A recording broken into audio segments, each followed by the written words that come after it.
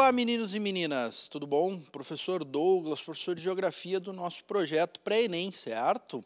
Eu sou um homem de 1,75m, tenho cabelos curtos, né? Uh, também uso barba curta e tenho óculos de hastes largas. Então, esse que eu descrevi aí sou eu, tá? Tu já sabe, todo início de aula eu já deixo para ti aqui os meus contatos, né, meu Instagram e meu e-mail. Tu tem alguma dúvida, tu tem alguma questão aí que tu queira é, solucionar, né, entender um pouco melhor, entre em contato, não vai para a tua prova com dúvida, certo? Vai uh, empoderado da melhor maneira possível do nosso conhecimento para poder sanar, né, resolver as, as, as questões e conseguir a tua vaga aí na universidade, tá, gurizada? Tá aí então meu Instagram, tá aí também o meu, meu, meu e-mail. E junto comigo está o professor Ernesto, né, que me ajuda sempre a construir as, as aulas para o nosso projeto aí, tá? Aula, então, 27, vamos ver o que, que a gente vai ver, então, na aula 27. Vamos continuar, então, com o Oriente Médio, já entrando na revisão. Então, como a gente está indo já para o nosso final, então a gente tem que né, dar uma revisadinha, né? E ver um, um uma questãozinha que ficou ali da aula passada.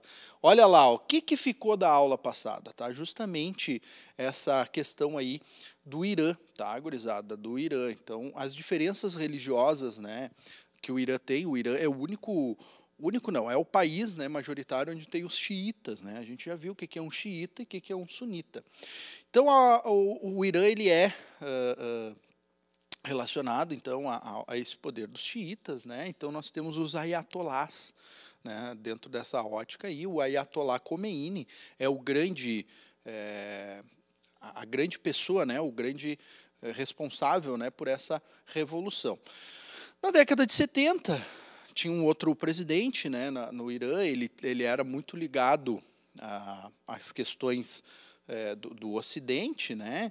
Então ele era bem ocidentalizado. O Irã, as mulheres andavam com roupas ocidentais, né? Saias, cabelos é, tranquilos aí, é, sem aquela, aquelas vestes típicas, tá?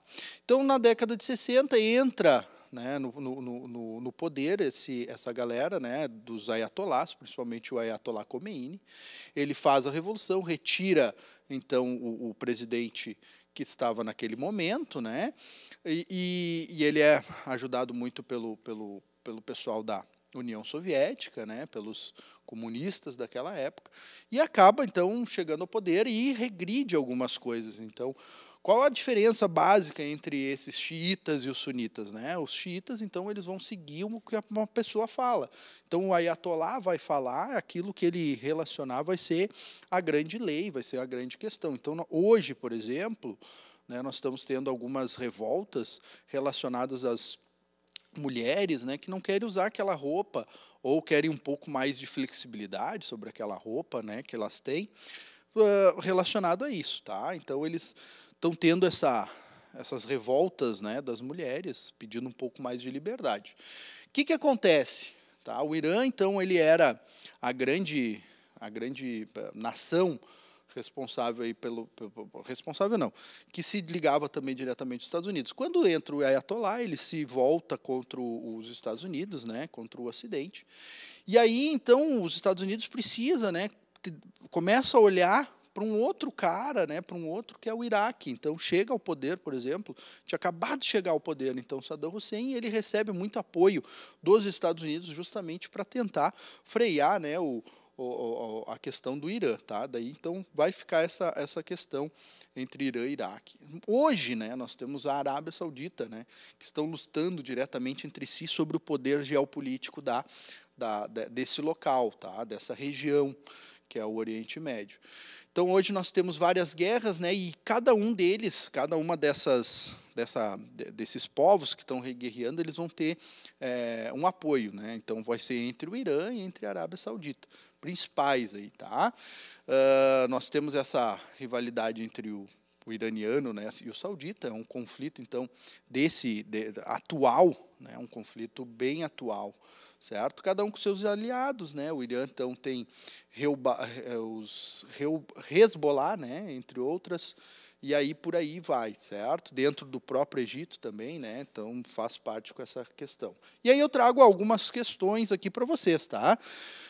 Quer entender mais sobre a Revolução Iraniana? Está ali então o QR Code, né? Que vai direcionar vocês justamente para um, um é, um texto né, sobre essa revolução iraniana, como foi aquela coisa toda.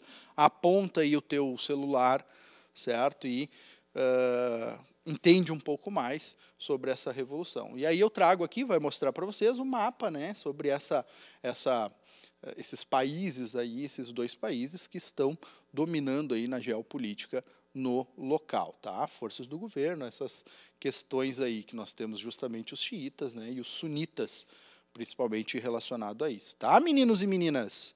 Vamos passar então mais um aqui, vamos ver o que, que vai cair. Vamos entrar já em revisão. Primeira questão, então, é a rotação da Terra, né? Vamos fazer, falar um pouquinho dessas, das, dos dois grandes movimentos da Terra, né? Então, a rotação dura 24 horas, tá? Então, ela vai é, dar os dias e as noites e também, né, o fuso horário, certo? Então, a gente precisa ter essa, essa, essa questão do fuso horário e é quem dá a rotação. Já a translação, o movimento né, em torno do Sol, dura 365 dias, uma informação importante também, mais seis horas. O que, que a gente faz com essas seis horas? Deixa num banco, a cada quatro anos, então vai surgir um dia a mais, certo? E aí a gente consegue descontar.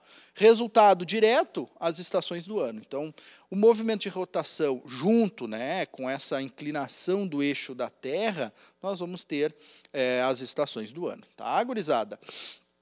E aí, como eu falei para vocês, nós vamos ter os fusos horários. Para uh, fazer o cálculo de fuso horário, ele é bem simples, tá, pessoal?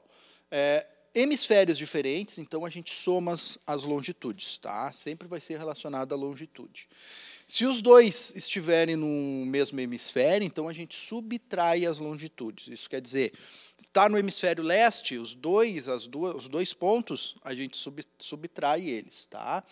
Está no hemisfério diferente do outro, a gente consegue, é, a gente consegue é, somar. Tá? E aqui tem um ponto importante. Se eu vou de oeste para leste, eu somo horas. Tá? Eu somo de oeste para leste, eu somo horas. Né? Eu estou indo de oeste para leste, eu vou somar quantas horas ali, quantos fusos horários nós tivemos. E de leste para oeste eu vou diminuir esse fuso horário, essa, esse horário, certo? Então estou indo de leste para oeste, então eu vou diminuir. E aqui eu trago uma imagem que vai mostrar para vocês aqui embaixo, ó, sobre a linha internacional de datas. A linha internacional de datas, ela só uh, muda a data, tá? Se está no horário, não muda o horário, só muda o dia. Então, se eu vou, né, de leste para oeste, ó, eu diminuo, aumento um dia. Tá? Então, eu vou de 31 para 1 de janeiro. Já que eu vou de oeste para leste, eu ganho um dia, certo? Então, aqui eu aumento aí esse, esse, esse dia aí, tá, gurizada? Então, eu vou do 1 para 31 e de leste para oeste eu vou, né, natural, de, de 31 para dia 1 certo, gurizada? Então, lembra disso aí, tá aí, então, a linha internacional de datas, pode cair lá na tua provinha. Eu vou passar mais um slide aqui. E aí a gente entra nessa questão das linhas imaginárias, tá? que são os paralelos e os meridianos. Tá? A linha a gente chama ou de paralelo ou de meridiano. Paralelo, então, eles são paralelos ao Equador, certo? Vão para o Polo Norte e vão para o Polo Sul. E os é, meridianos, então, eles vão de leste para oeste, né? Eles, uh, a partir do meridiano de Greenwich, né? Eles vão sendo contados, tá? A distância que, esse, que essas linhas têm em relação aos seus marcos, a gente vai chamar ou de latitude ou de longitude. Latitude é a partir do Equador para o norte ou para o sul. Então, é a distância que o paralelo tem em relação ao Equador. A gente chama isso de latitude. Longitude é a distância que esses meridianos vão ter em relação ao meridiano de Greenwich, que é o, o, o marco zero, certo? Dos, do, do, do, da longitude é o meridiano de Greenwich. E aí a gente acaba colocando essa relação, tá, gurizada? Eu trago aqui para vocês as duas imagens, olha, está passando aí para vocês justamente essa imagem bem explicativa, né, sobre a latitude e a longitude. Então, a latitude é a, esse ângulo aqui que forma né, os paralelos em relação à linha do Equador, e a longitude né, é o ângulo é, que essa linha chamada meridiano forma em relação a Greenwich, tá, gurizada? Vai ter, então, um ponto, vou ter um meridiano e um paralelo se cruzando, e aí nós vamos ter a latitude e a longitude também se cruzando, tá, gurizada? Vamos pegar aqui, por exemplo, a latitude, latitude 40, né? Qualquer ponto que eu estiver nessa linha de 40, que está mostrando ali para vocês, eu vou estar, uh, desse uh, uh, paralelo, eu vou estar à distância de 40 graus do Equador. Tá? E se a gente pegar aqui, vamos supor, o, o meridiano 10, ó, qualquer parte desta linha 10 aqui, eu estou a uma distância de 10 graus em relação ao meridiano de Greenwich, tá, gurizada? Então, essa, isso é importante. Linhas imaginárias, elas são importantes para a gente ter a nossa é, localização no planeta. Vou passar aqui mais um, então, mais um slidezinho. E aí a gente entra né? Isso é importante para a gente saber, e aí a gente vai planificar né, o nosso planetinha e a gente vai fazer mapas. Né? E o que, que é o um mapa? Corresponde, então, a essa representação gráfica, esse desenho do espaço real. Tá? E ele vai seguir algumas ordens, ele vai seguir algumas relações sobre isso. Tá? E aí a gente tem os tipos de projeção. Como é que a gente vai projetar essa, esse, esse sistema circular, né, essa bolota, num sistema de papel. Então a gente vai ter essas questões aí. Primeiro, quem faz bem começa a desenhar o Mercator, tá? E ele faz justamente um desenho é, mais fiel, né, possível. Ele tenta manter a, a, a, forma, tá? Não o tamanho. Tanto é que se a gente comparar Peters com com o Mercator, que o Peters então ele é ele tenta manter o, o tamanho, certo? De deforma um pouco a, a, aquela forma, mas ele mantém o tamanho. Se a gente pegar, por exemplo, aqui nós temos é, Mercator, olha o tamanho da Groenlândia, tá? É bem maior do que o Brasil. Agora, se a gente for para a realidade, olha o tamanho do Brasil e olha o tamanho da, da, da Groenlândia. Essa é a questão uh, do Peters e do Mercator. Mercator mantém a forma, né, distorce o tamanho. Peters mantém o tamanho, desforma essa, essa parte da, do, da forma, tá, gurizada? Uma coisa importante, né, dentro dessa, dessa que pode aparecer para vocês, eu trago um mapa, né, que é anamorfo, tá, pessoal? Ele, ele vai distorcer o mapa para poder colocar um dado. Aqui está um dado sobre Covid, por exemplo, né? na época era, era de 3 de 5 de 2020 a, a 9 de 5 de 2020, os casos de Covid. Então, aqui mostra o mapa para vocês real, né? E aqui está a anamor, anamorfose, tá? que é a forma aí que eles colocaram. O que, que a gente consegue entender? que existe um dado, né, e esse dado é o seguinte: São Paulo tem maior quantidade, Ceará tem bastante também, né, essa parte aqui do Nordeste tem bastante é, casos aí de coronavírus. Rio de Janeiro também, né, nessa época. Então ele deforma o mapa para poder é, colocar um dado, certo? Então aqui tu tem dois dois dados, né? Tu tem um que é a localização e o outro é o tamanho, né, da, do, do, do relacionado a isso cai seguido, né? Já vi isso cair algumas vezes mapas relacionados à anamorfose. Pode ser de várias formas. Ele vai fazer ali, tu tem que ver, compreender o que está rolando, tá, gurizada? Vamos passar mais um aqui?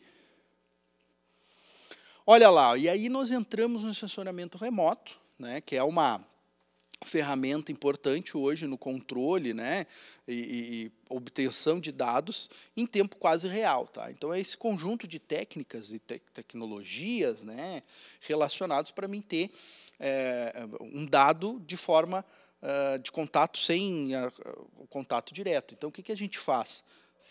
Tem os satélites né, e eles ficam captando né, essa, essas ondas refletidas. E aí eu mostro para vocês como é que funciona. Aqui embaixo vai mostrar. Ó, o Sol, então, incide né, sobre os, os as superfícies e cada uma das superfícies vai ter uma forma diferente aí de uh, refletir né, esse, esse raio solar ou absorver e, e, e, mandar outros tipos de raio. O nome disso a gente chama de albedo, certo? A taxa de albedo vai ser essa, essa diferença entre a forma que se reflete a luz solar, né, a energia solar, e aí tu vai colocar um receptor no, no, no, satélite, né, e cada onda desse receptor vai mostrar isso aí. E aí eu trago algumas formas aí para vocês, tá? Esse aqui são os satélites do NOAA, né, que tira foto dos Estados Unidos, e aí eu trago uma para vocês, né, sobre as queimadas na, em agosto de 2019. Olha aqui, ó, tem bem os pontinhos aqui vermelho, não sei se vai conseguir mostrar para vocês, mas essas é, manchas brancas, vamos dizer assim, são fumaça, tá, pessoal? Então, o que, que mostra aqui? Nós temos fogo, nós temos fumaça, aquela coisa toda, tá? Aqui já é um, uma, uma, um recorte um pouco mais é, refinado, né? Perde um pouco dessa, dessa questão aí de, de pixel, tá? Que é o tamanho ali da, da área que eu estou pegando. Olha lá, está mostrando para vocês justamente isso, né? Essas... É, fumaça, né? essa, essa mancha branca. Então a gente consegue quase que em tempo real pegar aí a quantidade de, de desmatamento que se tem, tá, pessoal? Vai mostrar na outra lá agora, vai mostrar o outro aqui também uma imagem um pouco maior. E aí vai mostrar a diferença entre as nuvens e a fumaça. A fumaça ela é mais uh, menos densa, vamos dizer assim, né? Ela é mais é, é, fina, né?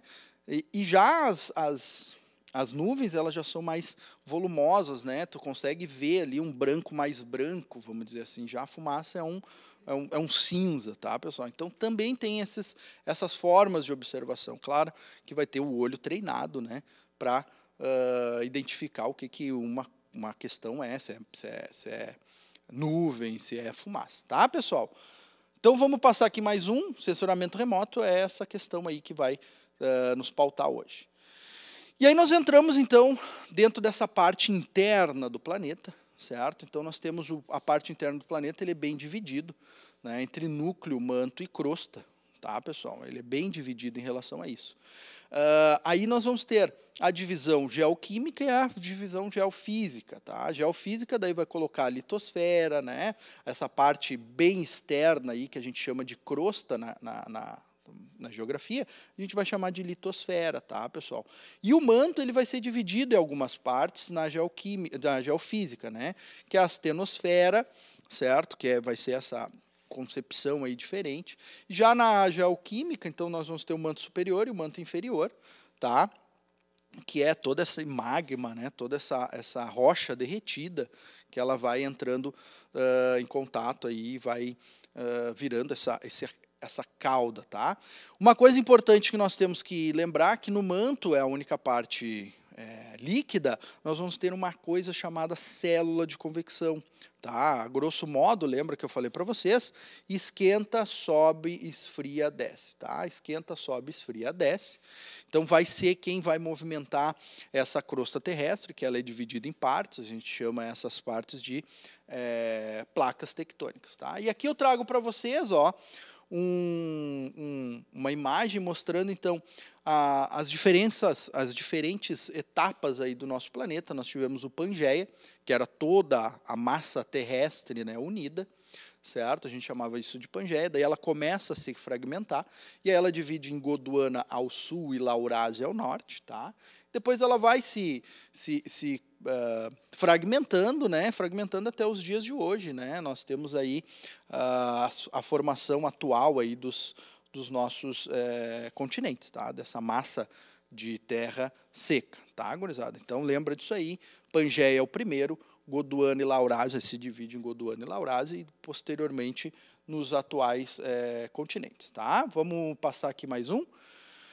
E aí, então, como eu falei para vocês, uh, essas, essas uh, placas tectônicas elas vão ter limites, seja um limite que uh, divergente ou convergente. E aí o divergente é o clássico, né, onde nós temos bem embaixo dessas placas as é, é, células de convecção empurrando né, essas placas, né, fazendo com que elas uh, se, se dividam. Tá? Vai formar grandes fendas, grandes rachaduras né, na crosta terrestre, principalmente dentro dessa, da, acima dessas, é, rachaduras, nós vamos formar também oceanos, porque tu vai ter um rebaixamento dessas placas tectônicas, elas vão ser estiradas, vamos dizer assim. Já o convergente é onde nós temos aproximação, né? É onde uma está batendo contra a outra e essa e esse choque aí vai produzir cadeias montanhosas, né? E aí nós temos dois tipos é, de contatos convergentes continental oceânica, isso quer dizer uma placa oceânica contra uma placa continental, essa placa continental vai soerguer, né? E a placa oceânica vai entrar de novo no manto, isso a gente chama de zona de subducção, isso quer dizer que ela volta ali para ser reciclada. E nós vamos ter também continental continental, tá? Que são duas placas super densas, uma vai sobrepor a outra, não vai ter uma zona de subducção tão bem é, formada quanto essa continental oceânica, e aí nós vamos ter o teto do mundo, né? quando nós temos essa continental continental, nós vamos ter os picos mais altos uh, que nós temos do, do planeta. Tá? E a transformante é uma passando pela outra, né? é como se fosse uma via de mão dupla, tá? uma passando pela outra. E aí eu trago para vocês as imagens né? Dessas, desses limites, né? o limite divergente, né, o limite transformante e o limite convergente, né, formação também relacionada aí de vulcão, né, aquela coisa toda, vai uh, ter uma, uma linha direto com o magma, tá, gurizada? E aí algumas questões relacionadas a isso, a orogenia e pirigenia, tá, gurizada? Uh, essa orogenia, então, é, quando nós temos a, a ocorre no, no, sistema horizontal. Isso quer dizer que ele vai ter um rebaixamento dessa, desse sistema tá, uh, relacionado a esse limite. Então, seria mais no meio da placa essa parte orogênica. Tá? Para vocês terem uma ideia, vai rebaixar né, o solo naquele local onde está ocorrendo. O Pantanal, certo? A formação do Pantanal ela está relacionada à orogenia também, uh, como as placas tectônicas é, sul-americana acabaram se, se, se, se, colidindo, formando os Andes, uma forma, então, é, uma forma não, uma resposta disso aí foi justamente é, rebaixamento dessa, daquela região que a gente chama do Pantanal. Já a hiperogenia é justamente a formação né, é, é da, da, da, dessas montanhas, tá? É, relacionado a isso, tá, gurizada? Vamos passar mais um aqui. Intemperismo, tá, gurizada? O que é o intemperismo? E aí nós temos toda essa formação né, dessas, dessas rochas, dessa, dessas cadeias, é, é, dessas cadeias uh, da, montanhosas, tá? E aí agora nós vamos ter justamente a deformação delas, tá? Nós vamos ter a modelagem dela. Então nós temos o intemperismo. O intemperismo é quando essa rocha ela é degradada. Pode ser por três formas: química, física ou biológica, tá? Vai formar o sedimento, que seria aquela aquele uh, uh, areia, vamos dizer assim, de forma mais grosseira, tá? A erosão, ela é o transporte, né? E aí esse transporte pode ser uh, por água, por, por, por, por vento, né? Por ação propriamente também glacial, entre outras coisas, tá? Quando é por água, tá, gurizada? por, por, pelo lenço, uh, seja por um rio ou por, por chuva, nós vamos ter dois tipos, a ravina e a vossoroca. Já vi isso acontecer, tá? Diferença entre elas, a ravina, ela é profunda, mas não chega no lençol freático. Já a vossoroca, ela é bem profunda e chega no lençol freático, vai formar ali um riacho, né, um córrego, aquela coisa toda, tá? E aí eu trago aqui para vocês, né, uma forma, uma, uma imagem que vai mostrar para vocês Primeiro, tu tem o intemperismo, né, a ação aí, é, de degradação dessa rocha. Depois, tu tem a erosão, que é o transporte desse sedimento. E, por final, tu tem a sedimentação, que é o depósito desse sedimento. Então, tu tem essa formação aí, tá, gurizada? É bem assim que vai, vai funcionar. Vamos ver aqui mais um, então? E aí nós entramos no, na circulação geral da atmosfera, tá, gurizada? Que é o que, que nos rege, né, a, a questão do tempo e do clima. Né? Tempo e clima. Clima é aquilo que a gente vai esperar, né? Quando está no inverno, a gente espera então mais frio, aquela coisa toda. E o tempo é o que está no momento, se está com sol, uh, se está com chuva, aquela coisa toda, tá, gurizada? E aí então eu entro para vocês sobre essa circulação geral da atmosfera. Nós temos né, massas de ar, essa, essas massas de ar aí, então, elas vão se chocar. E aí nós temos as regiões que elas vão se formar. Quanto mais perto do Equador, tá?